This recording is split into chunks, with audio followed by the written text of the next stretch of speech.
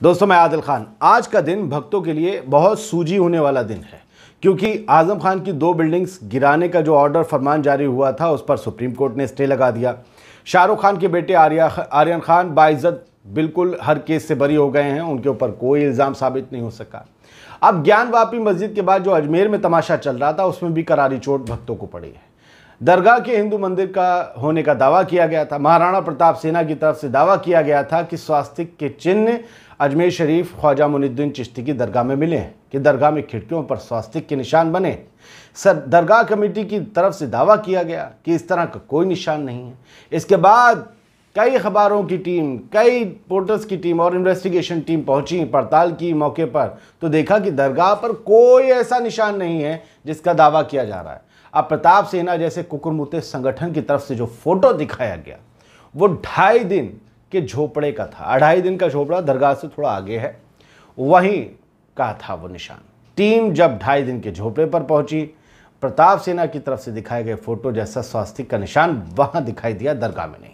एक खिड़की पर यह बना हुआ था, लेकिन इसका दरगाह से कोई लेना न देना नहीं, कोई लिंक नहीं, और इस स्वास्तिक के निशान से यह साबित नहीं होता यह मंदिर था। यानी जिस स्वास्तिक को लेकर दावा किया गया था, वो झूठा निकला। यानी साफ़ हो गया कि प्रताप सेना नाम का कुकुरमुता संगठन हिंदू मुसलमानों के बीच नफरत फैलाने के लिए झूठ बोल रहा था और अब इस संगठन के बुरे दिन आने वाले हैं, क्योंकि अब इसके खिलाफ कार्रवाई की तैयारी हो रही है और इसके मुद्दे जो गोदी मीडिया उठा रहा था, उनके मुँह पे भी थूक गया है।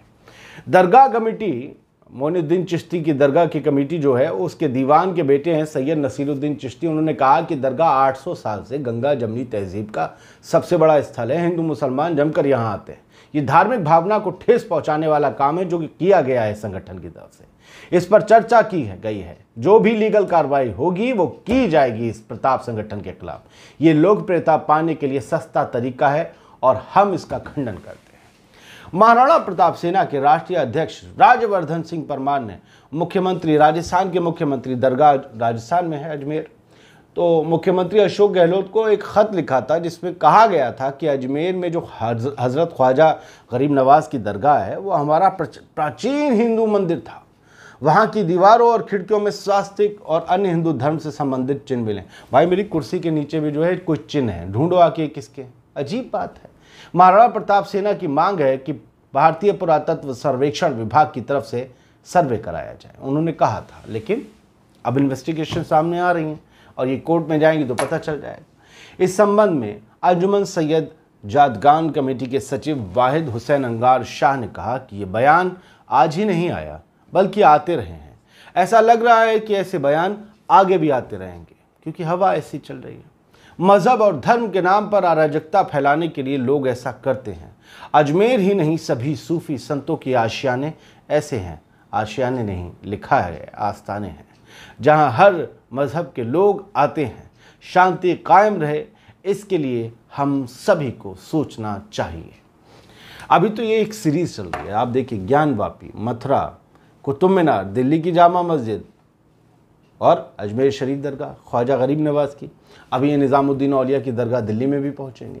और न जाने कहाँ कहाँ फिर आपको आप देखिएगा, वहाँ पहुँच जाएँगे, बाराबंकी, देवा, फिर कलियर शरीफ पहुँचेंगे, फिर बरेली ही पहुँच जाएँगे, फिर देवबंद पहुँच जाएँगे। तो ये चिरकुट है।